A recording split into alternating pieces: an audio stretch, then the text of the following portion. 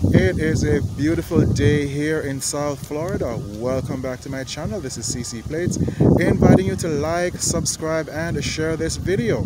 I'm coming to you on location on Flagler by the water. It is such a beautiful day out to go yachting or doing any kind of activity such as cycling. See some folks are riding by here in the shot. It is a beautiful day to do something, anything. It's almost a crime to be inside your house locked up unless you really have to. This is the start of a new series we're going to call Moving or Relocating into South Florida.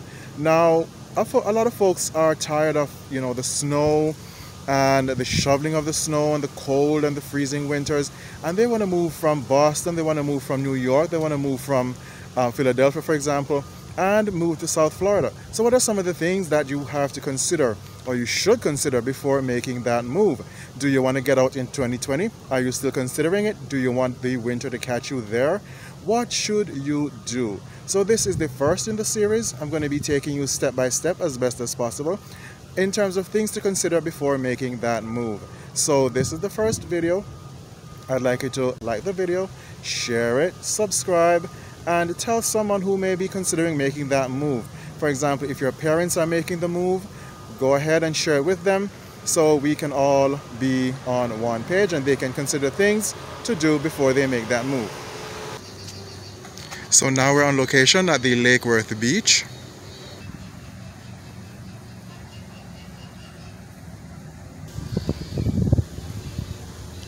Look at this fine beauty.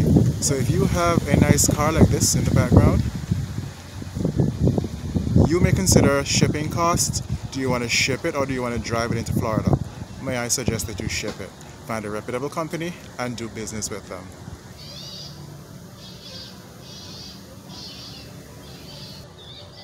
Let's take you down to the water. But just before we take you down to the water, here on this sign you can see uh, the high and low tide general times. Also some flags that show you uh, some caution. For example, this red flag showing water close to the public. Or if it's high hazard or medium hazard for yellow, low hazard for green, and also dangerous marine life in blue. So if you see that blue flag, do not go into the water.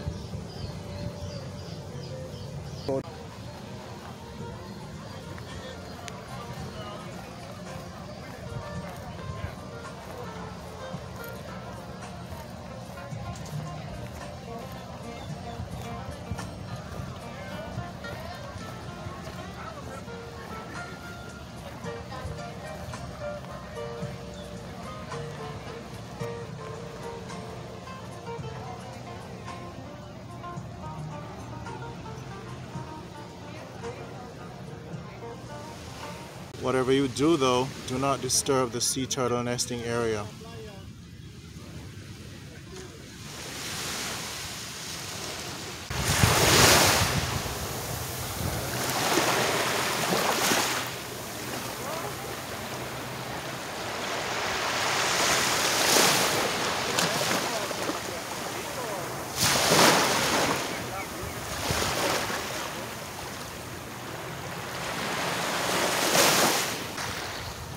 So if you are considering relocating into South Florida, South Florida is waiting for you.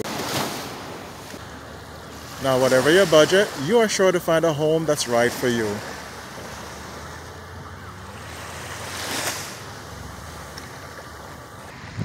Thanks for watching. This has been CC Plates. I'm inviting you to like this video, share it, subscribe to my channel. We have so much in store for you. Thanks for watching. Let me get out of the shot so you can focus on the beach. Remember, Jesus loves you.